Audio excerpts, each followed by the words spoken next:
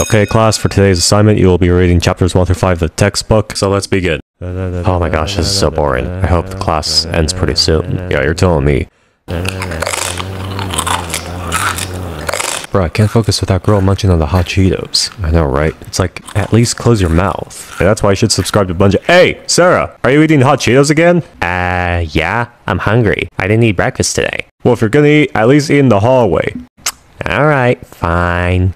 Alright, as I was saying, class, make sure you subscribe to Bungee. He makes the best videos on the platform. Students, these can be a bit. Yeah, actually, I'm not gonna make an intro for this. You read the title, you know what the video's about. Let's just get into it. I'm not evil, I'm just psycho. I'm so profane that everybody looks These are the type of girls that eat hot Cheetos in the back of the class. They're super loud and disruptive, and they built like Patrick Star. Let's be real here. And sometimes they could chew with their mouth open and be disrespect and the and be disres and be disruptive to the whole class. Why is that word so hard for me to say? Disruptive. Yeah, I'm leaving that in the video. I don't care. And yeah, overall, they're just super annoying. I feel bad for anyone who actually got in a relationship with those type of girls, because they're just not it. Plus, they can be super disrespectful to the teacher too, and cause a bunch of drama that really doesn't need to happen. But then again, that's what's like with a lot of people in classes, where they're disrespectful to, to the teacher for no reason. Of course, there are instances where them being disrespectful is warranted, like if the teacher's being disrespectful to the students for no reason. But if the teacher honestly didn't do anything, and the students are just being douches for no reason, then, well, that's when it's a problem. And I'm getting off topic from the actual type of student I'm talking about. Well, I mean, that's all I had to say. So anyway, moving on. the pinnacle of raw entertainment. My days spent throwing rock. I mean, do I even need to explain this one? This is the type of person that gets offended over literally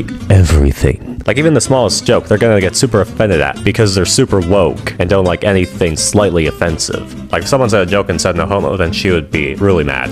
So what'd you get for lunch? Got a Subway sandwich. Ah, nice. 12 inches of deliciousness. No homo though. Ah, of course, of course. Um, excuse me, what did you just say? I said 12 inches of deliciousness, no homo. That is very homophobic. How dare you say that about gay people? Whoa, whoa, whoa, whoa. I just said that as a joke. He said 12 inches of deliciousness and then said no homo. That was just a joke. He didn't actually mean it. Oh, so homosexuality is a joke to you? Homophobes? I'm canceling both of you on Twitter. You're both disgusting human beings who should have been aborted. Whoa, whoa, you're going way too far with this. If anything, you're the one that's being rude and outrageous.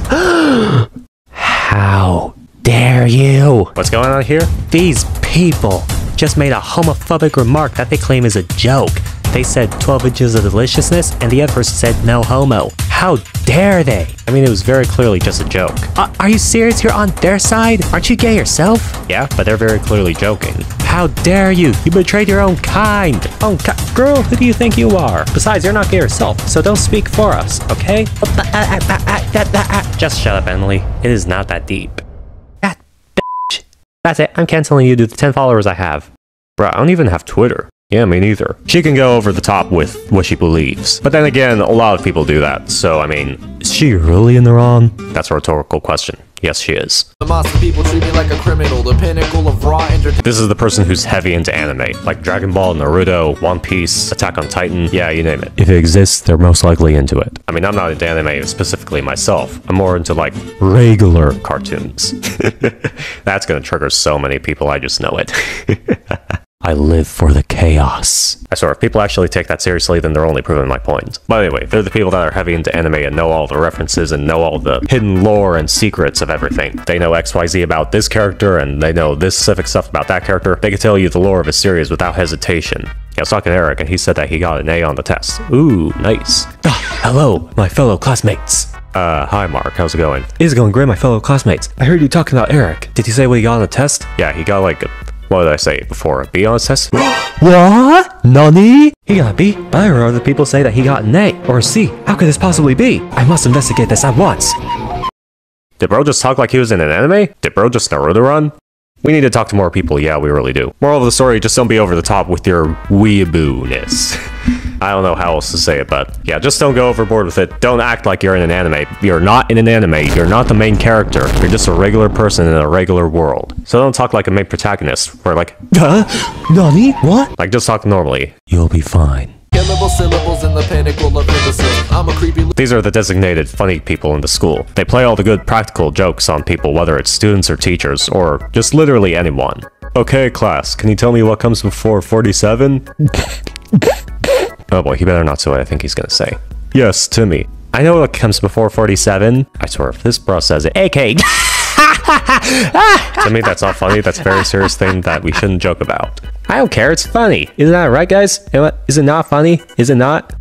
Bruh. I don't care. It's funny. It's funny. They can make some of the most absurd, obscene, out-of-pocket jokes you ever heard, along the lines of the edgy kid. But he's a part of another video on the channel. Like sometimes it could get to a point where the class clown goes too far and makes jokes about something that's really insensitive to make jokes about. Okay class, today we're just gonna watch a movie. I'm not really in the mood to teach anything because, well, my wife is in the hospital and we don't know what's wrong with her. Oh wow, that sucks. Yeah, sorry to hear that teacher.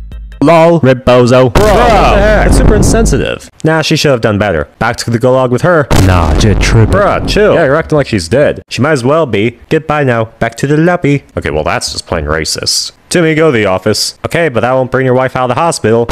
Oh my gosh, he actually did not just say that. Bro, I thought this dude was funny. He's just insensitive. Moral of the story, being a class clown isn't completely bad. You just have to know when to make jokes about certain stuff. Just don't be insensitive about actually sensitive topics. Little rapper coming out the factory, capture me, I will be the Apparently, these types of people are roaming around schools a lot more nowadays. Back when I was in high school, which was only like a few years ago, we barely had any type of furry people. But nowadays, there's apparently people with cat ears, tails, and all kinds of other accessories. Even people in full-on fursuits. It's gotten to a point where apparently schools have had to actually bring litter boxes into the classrooms because the people believe that they're actually animals and they don't want to use actual toilets. So like, bruh, like honestly, bruh, you're not animals. I'm a green snake. I'm actually an animal, unlike all of them who are pretending to be animals. I swear I'm not a furry, guys. And they also be roaming around the halls just screaming, Ew, well.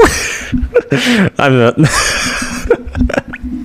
Why did I do that way too well? I feel like I did that a bit too good. I swear I don't say that in my spare time. I swear, I swear. they also be saying a bunch of other cringe stuff. So yeah, just don't be those types of furries. Like, that's all I'm saying. You can do whatever in the comfort of your own home, but just leave that out of school. I never sleep, I stay away and prey on the weak. Then I These people are honestly pretty interesting and entertaining. They always talk like they're performing in front of a crowd, and they can be a bit over the top with how they say stuff. And sometimes pretty zesty as well. Like they just have that type of energy to them. You know what I'm talking about. Hello everyone. You gonna see my performance on the stage tonight? Eh, yeah, I'll probably make it. I don't know if I will. I'm pretty busy. Well, you have to be there. It's gonna be extraordinary. Anyway, I have to go backstage to practice. Later.